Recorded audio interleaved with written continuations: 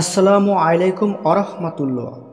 সুপ্রিয় দর্শক, একদিনই ভাই আমাদের কাছে প্রশ্ন করেছেন যে কিছু পরিমাণ লোন করে হজে যাওয়া যাবে কি এবং সকল সঞ্চয় শূন্য করে লোন নিয়ে হজে যাওয়াটা উচিত হবে কি, যদিও আমার যাওয়ার ইচ্ছে আছে। তো সুপ্রিয় দর্শক, একদিনই ভাই আমাদের কাছে এই বিষয়টি সম্পর্কে জানতে চেয়েছেন যে লোন নিয়ে হজে যাওয়া যাবে কি না মানে রেন করে হজে যাওয়া যাবে কি না তো আমরা ইনশাল্লাহ এই বিষয়টি সম্পর্কে সঠিক ধারণা দেওয়ার চেষ্টা করব আপনাদেরকে।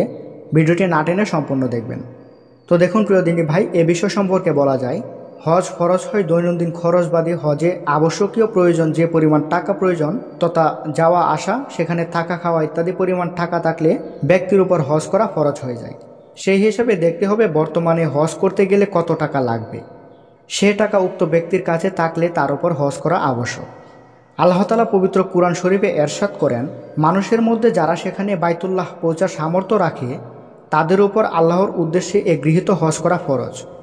আর কেউ যদি অস্বীকার করে, তাহলে তোমাদের জেনে রাখা উচিত যে, আল্লাহ তালা সৃষ্টি জগতের প্রতি মুখপেক্ষী নন। তাছাড়া অন্য একটি কিতাবে এসেছে, যার মালিকানায় নিত্য প্রয়োজনীয় আসবাবপত্র এবং নিজের ও পরিবারের ভরণ পোষণের খরচের অতিরিক্ত এই পরিমাণ টাকা, পয়সা বা সম্পত্তি আছে, যার দ্বারা হজে যাওয়া, আসার ব্যয় এবং হজকালীন সাংসারিক খরচ হয়ে যায়, তার উপর হজ করা ফরজ। হজ যে বছর ফরজ হয়, সে বছরই তা আদায় করা ওয়াজিব। গ্রহণযোগ্য কোনো উজর ছাড়া হজ বিলম্ব করলে গুণাও হবে। তবে পরবর্তীতে হজ আদায় করে নিলে এই গুণাও মাফ হয়ে যাবে। তো সুপ্রিয় প্রশ্নকারী দিনী ভাই, আপনি জানতে চেয়েছেন যে সমস্ত সঞ্চয়, সকল সঞ্চয় শূন্য করে লুন নিয়ে হজে যাওয়াটা উচিত হবে কিনা?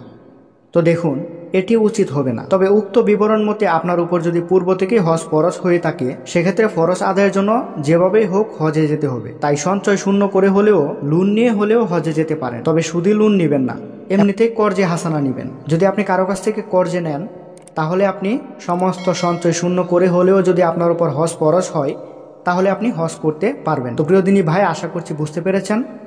ভিডিওটি ভালো লাগলে অবশ্যই একটি লাইক করবেন এবং চ্যানেলে নতুন হয়ে থাকলে সাবস্ক্রাইব করবেন। আসসালামু আলাইকুম। আল্লাহ হাফেজ।